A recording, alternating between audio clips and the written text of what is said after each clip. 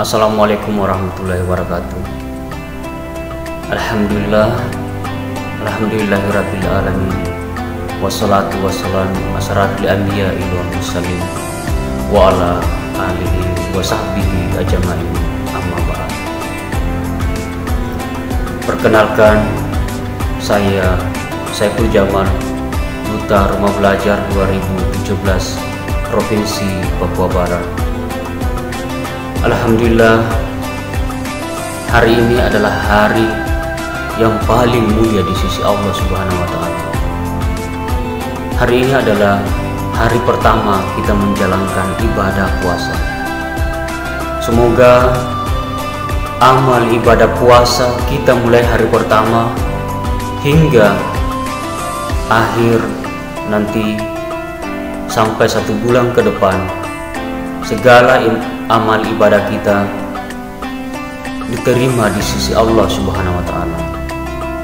Semoga di tahun ini kita menjadi sosok insan yang lebih baik, lebih mulia, dan lebih bijak dibandingkan dengan tahun-tahun sebelumnya. Semoga tahun ini ibadah kita menjadi lebih baik, lebih meningkat, bahkan kalau bisa lebih sempurna dibandingkan dengan tahun-tahun sebelumnya. Semoga tahun ini kita lebih berbakti kepada kedua orang tua karena Allah Subhanahu wa taala mengatakan dalam surat An-Nisa ayat 36 yang artinya bahwa sembahlah Allah dan jangan sekali-kali engkau menyebutkannya dengan apa pun serta berbaktilah kepada kedua orang tua ingat orang tua adalah sosok insan yang terbaik kedua di sisi Allah Subhanahu wa taala. Kita harus tahu bahwa di telapak kaki ibu itu ada surga di situ.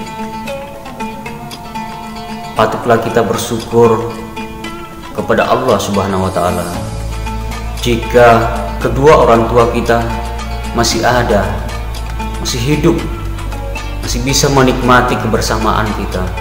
Dan semoga 10 tahun, 20 tahun kita masih bersama dengan beliau. Harta yang paling berharga adalah kedua orang tua. Sekaya bagaimanapun kita, jika kedua orang tua tidak menikmati hasil kekayaan kita, itu sedikit berkurang.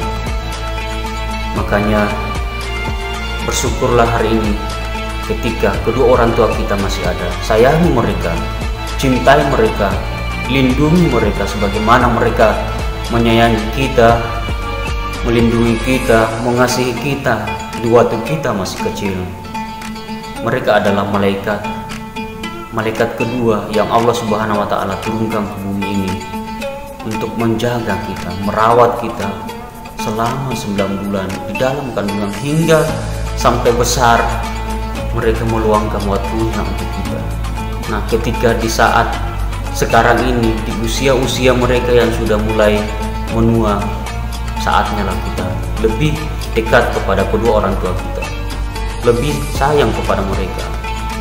Karena di saat usia-usia seperti itu, mereka menginginkan anaknya berada di dekatnya.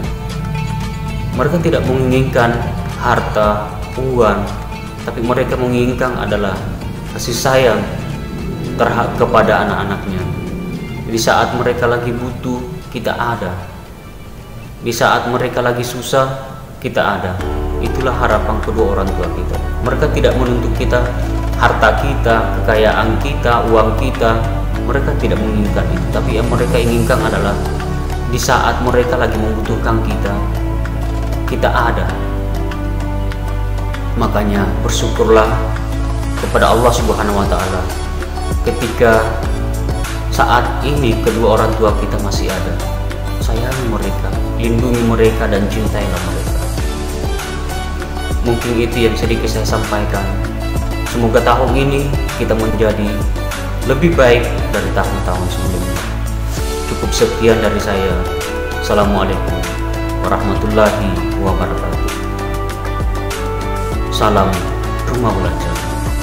Belajar di mana saja, kapan saja, dengan siapa saja.